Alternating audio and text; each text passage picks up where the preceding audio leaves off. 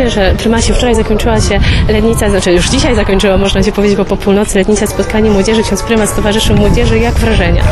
No przede wszystkim wielka radość, że tak wielu nas było, że było bardzo wielu młodych. Mówi się o 60 tysiącach, że mogliśmy się spotkać, że mogliśmy się razem modlić i mogliśmy też bardzo radośnie przeżywać to święto wiary w takiej wspaniałej modlitwie, modlitwie za siebie nawzajem. Bardzo wzruszające były niektóre wczorajsze momenty, chociażby ta modlitwa, którą siostry zakonne zaniosły do wszystkich sektorów, mówiąc praktycznie, co znaczy y, wiesz, że Cię kocham, a więc także dając ten znak y, przez gest, y, który gest właśnie objęcia, pokazania, że to jest rzeczywiście wymiar wspaniały bliskości i miłości drugiego człowieka w imię Jezusa, ale także potem chociażby ta modlitwa młodych nad kapłanami, których było bardzo wielu na placu. Widziałem, jak bardzo to przeżywali, właśnie gdy młodzi modlili się o to, by byli oni Chrystusowi wierni, by byli Chrystusowi we wszystkim i zawsze i do końca oddani.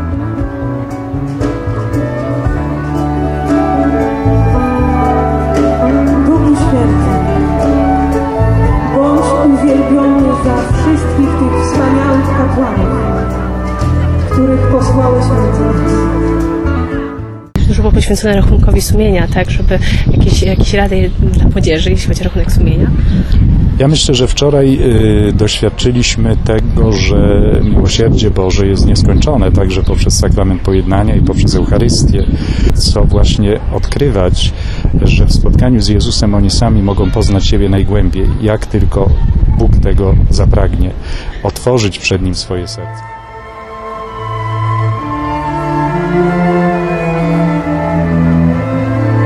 Młodzież teraz czeka dużo e, ciężkich chwil, jest dużo pokus, dużo chmur.